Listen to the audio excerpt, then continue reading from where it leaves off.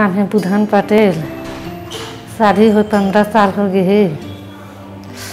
बहुत इलाज करवाए हैं। फिर बाद आशीर्वाद हॉस्पिटल आए हैं।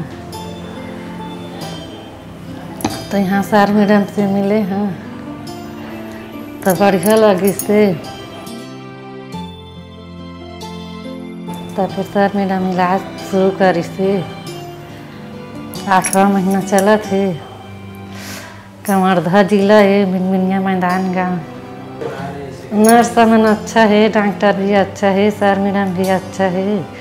यहाँ के सब चीज़ बढ़िया है। यहाँ से लगी यहाँ आए सकत हैं